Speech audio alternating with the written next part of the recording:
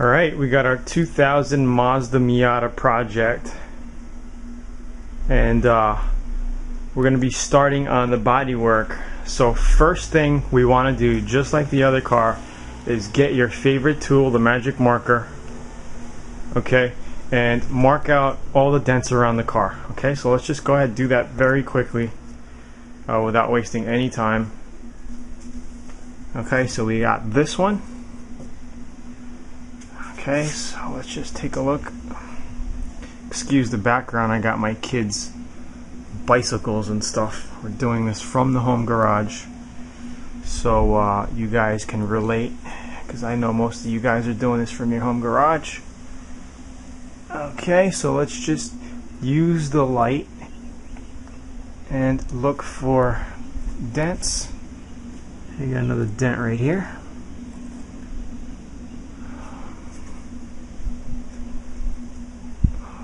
Go around the car.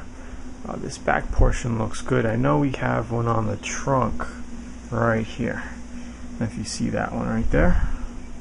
So let's go ahead and mark that. Okay, as you see, we're working on our spoiler. Show you how to do that in the next steps.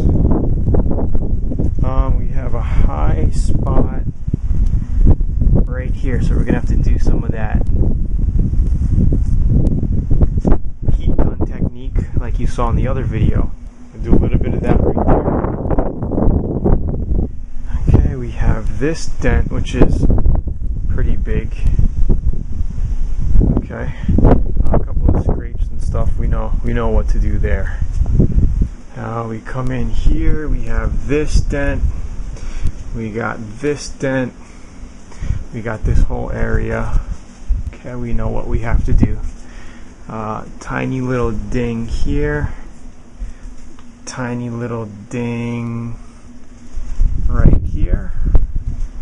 And we actually have a lot of them right here. Right here, here,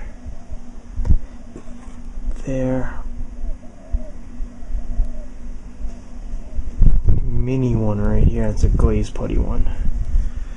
Okay, we got the fender right there. Where else?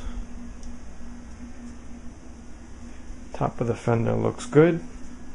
And on the hood, I know we have a little bad boy right here. See it? Okay, so let's just circle that.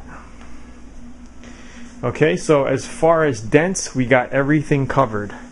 Okay, now I'm going to go through these steps of videos uh, a lot quicker because you already know the detail that I explained in the, the main ebook project, the main ebook course, okay, with the uh, Toyota RAV4. Okay, so I'm just going to go through this whole same process, but it's going to be a little quicker because you already know the steps. Okay, so like, did we miss a spot? No, we got it. We got this spot right here.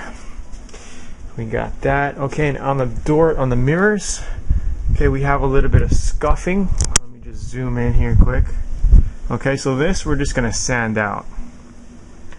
Okay, we have a little bit of scratchiness, but that's not a big deal. Okay, I'm going to keep this video short.